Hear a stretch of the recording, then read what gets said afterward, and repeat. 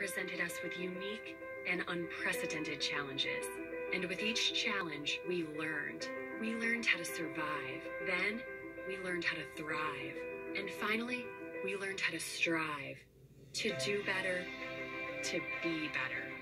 With the Great Courses Plus, we learned how to learn with purpose. It's a new year. It's your year.